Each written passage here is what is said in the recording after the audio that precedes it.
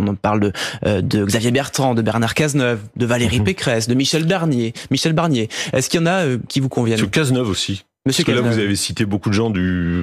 J'ai cité Oui, oui, il a cité en, ouais, cité. Ah oui, pardon, excusez-moi, ça, ça, ça m'a échappé. Eh ben, vous avez bien fait de les citer parce que c'est tous ceux qui ont plongé quand même, qui ont planté la France depuis 40 ans. Ce Donc sont des gens qui sont interchangeables. Mais, ce... automatique. mais après, attendez, on regardera les textes qui sont présentés. Mais sur les... non, mais c'est très intéressant ah, parce que là, effectivement, là, ce sont les noms des textes qui seront présentés, alors que si c'est Nouveau Front Populaire, c'est censure automatique Ah bah oui, quand vous avez des ministres LFI, voire écologistes euh, au gouvernement, là, c'est la, c'est la censure euh, directe. Mais non, les noms que vous avez grainés, ce sont des gens qui ont planté le pays pendant 40 ans et qui sont tous interchangeables. Ils ont même, ils ont la même vision politique, que ce soit Monsieur Cazeneuve, Xavier Bertrand, Valérie Pécresse. Ce sont des néolibéraux, ils sont européistes, ils sont immigrationnistes. Ils ont quand même ruiné la France depuis 40 ans. Enfin, quand on voit le montant de la dette et du déficit, là, on est en train de, de regarder ce qui se passe du côté euh, du budget. Enfin, c'est lunaire hein, ce qui se passe, mais bon, bref, on en reparlera peut-être. Mais ce qu'il faut avoir présent à l'esprit, c'est que dans le dernier budget, projet loi de finances, on était remboursement de la, de la dette, des intérêts de la dette, 48 milliards.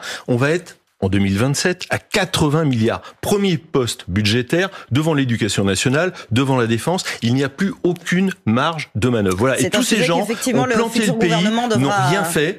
Et on, et on recite ces noms pour diriger le pays. Mais enfin, les Français n'en veulent plus.